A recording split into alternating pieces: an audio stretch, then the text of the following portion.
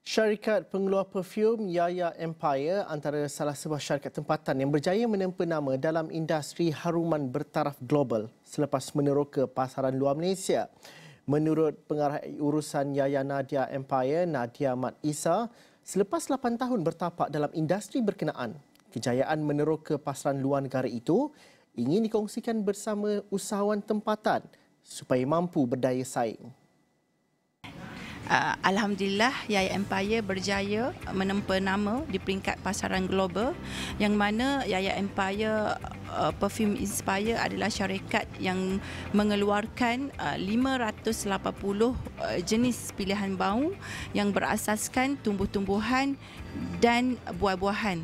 Dan untuk makluman juga, uh, alkohol yang kita guna pakai adalah alkohol yang selamat digunakan berasaskan tebu dan kita juga uh, mendapat kelulusan daripada Kementerian Kesihatan Malaysia. Dan untuk makluman juga, kerjasama kami bersama Bosku Mega Expo adalah julung-julung kal uh, julung-julung kalinya kami bekerjasama untuk untuk kami sebarluaskan berkaitan dengan produk Yaya Nadia Empire Perfume. Di mana kita mempunyai seribu orang uh, ejen pemasaran Sebagai permulaan penganjuran Expo Yaya Bosku Mega Expo yang diadakan di daerah Pasir Mas kali ini dilihat sebagai salah satu platform dalam mencari bakat dan mengenal potensi peniaga.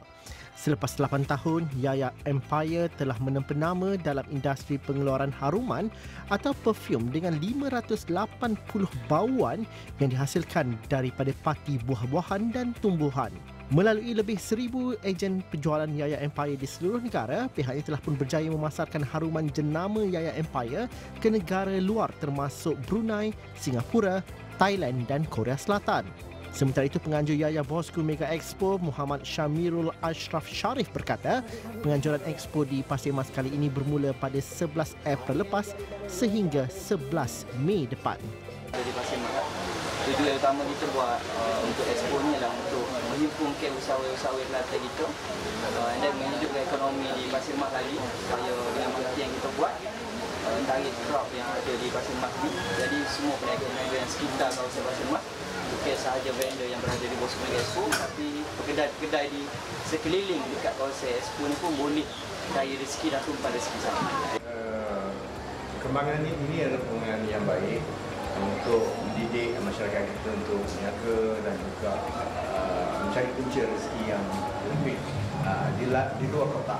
Maksudnya boleh berniaga dan uh, memajukan diri sendiri. Duri ranjau dalam